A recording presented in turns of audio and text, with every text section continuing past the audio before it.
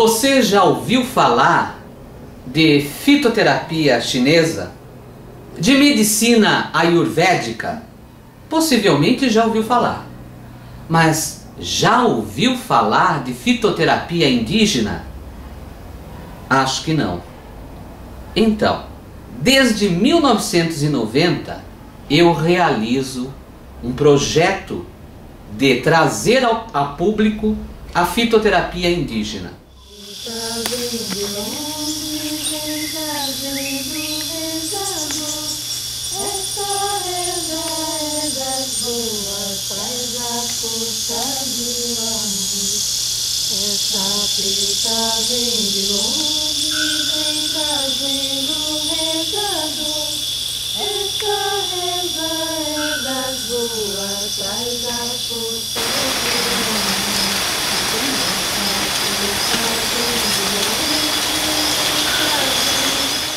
Nós temos aí também a quantidade de espécies vegetais, de plantas que há nesse, nessa imensidão de Brasil. Então imagine uma pessoa vivendo num país assim, e é, é, já é natural da comunidade, da família dela utilizar plantas medicinais e serem estimuladas a não, não utilizar, a ficar distante de plantas medicinais.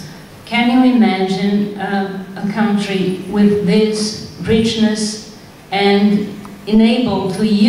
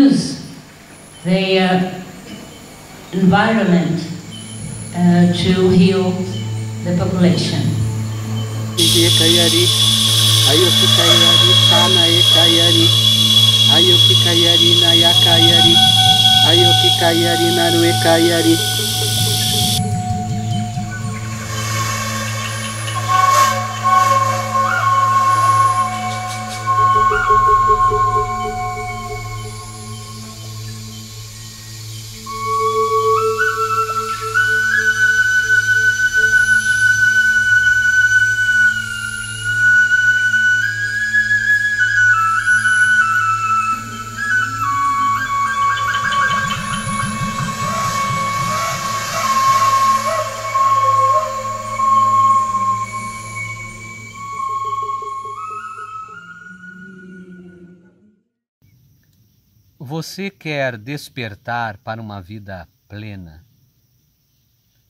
Quer ter qualidade de vida e saber como aplicar essa qualidade em sua vida?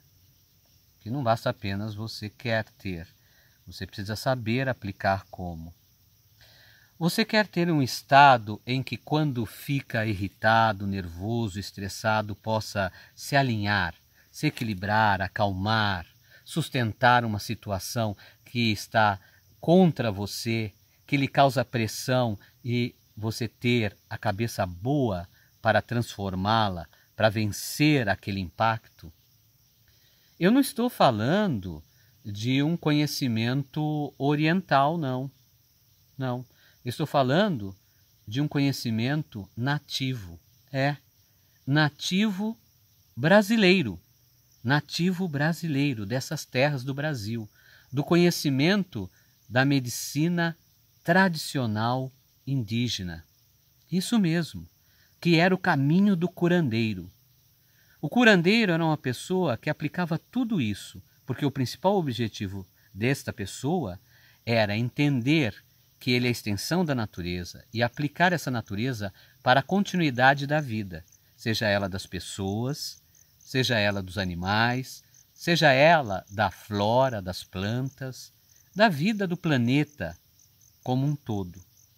Mesmo no seu universo muitas vezes reduzido do seu ambiente, o entendimento do ecossistema é gigantesco no caminho de um curandeiro. Por quê? Porque ele sabe que a origem e aquilo que ele vai utilizar provém da natureza. Então ele entende a natureza como uma mãe que cuida, que orienta, que ensina. Mas para isso, este ser, esta pessoa, desenvolve habilidades de ver mais atentamente, de entender mais profundamente, de experienciar mais cada etapa que a natureza possa ensinar. Para que possa aplicar, não só para ele, mas também para as outras pessoas, para as pessoas que estão pedindo e querem um caminho natural e querem entender isto também. O caminho do curandeiro é, além de um estado de espírito, uma prática de vida, uma prática de dia a dia de vida, que não muda o ser daquilo que ele é, ao contrário, traz o ser para aquilo que ele é. A pessoa coloca e aprende a colocar aquilo que a pessoa é, mas entendendo que a continuidade da vida é essencial. Assim desenvolve e entende técnicas milenares de tratar com os elementos da terra, da natureza, e transforma esses elementos de forma mais adequada para que a pessoa que ele está tratando possa receber esses benefícios. Este é o caminho do curandeiro. É este caminho que eu quero lhe ensinar. E para eu lhe ensinar isto, basta uma decisão sua, uma decisão de você fazer parte deste caminho. Aliás, ainda eu tenho aí vagas para o curso de Medicina Indígena. Você já ouviu falar de medicina ayurvédica? Já? Você já ouviu falar de medicina tradicional chinesa? Já? Mas você já ouviu falar de medicina indígena? Acho que não, hein? Então, você, eu estou lhe convidando para participar desse curso que é presencial. Há vagas pergunta sobre esse curso, você vai aprender sobre ervas, vai aprender como se tratar, vai aprender também como tratar uma outra pessoa, porque esse é um curso de formação. Eu formo pessoas. Você sabe que eu sou da área da saúde e sou também da área tradicional. E eu reúno esses dois universos para lhe dar o que há de melhor e de bom senso e de forma clara para você aplicar. Por quê? Tra tratamentos naturais, ele necessita ser feito com claridade, seriedade, compreensão realmente do que está sendo realizado, tá bom? Para fazer com segurança e para ter eficácia e eficiência necessária.